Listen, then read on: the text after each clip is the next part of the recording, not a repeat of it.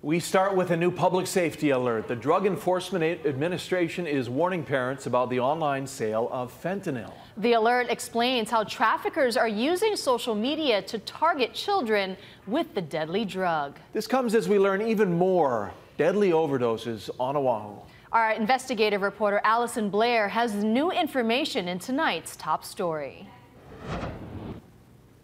Officials confirm fentanyl is suspected in at least four deaths on Oahu in the span of eight days, including two here in Kalihi. For law enforcement, I would say this is a red alert. The head of Hawaii's high intensity drug trafficking area says fentanyl is a danger everyone should pay attention to. Certainly a time where we really have to uh, take action. Between October 4th and October 11th, law enforcement was called to investigate four suspected overdose deaths one in Kaimuki, one in Hawaii Kai, and two in Kalihi Valley.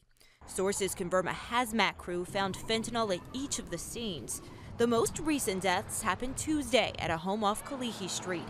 That's where officers found the bodies of a man and a woman both in their 60s. This is the first time we're seeing so many deaths. Absolutely. The DEA recently issued a new public safety alert directed at parents.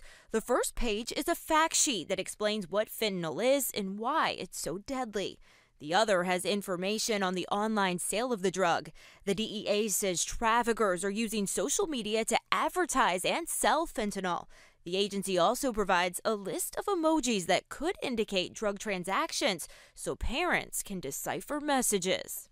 Meanwhile, local, state, and federal law enforcement say they're working to choke off the supply. We're doing intelligence, we're gathering information, and trying to use this information to target specific areas and items. Honolulu police also sent us this statement saying HPD investigators are working with federal law enforcement to detect and intercept imported fentanyl and to arrest and prosecute traffickers.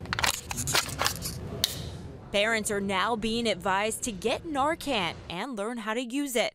The nasal spray can reverse a fentanyl overdose. We posted the DEA's advisory on our website. You can find it in our top stories. In Kalihi, Allison Blair, Hawaii News Now.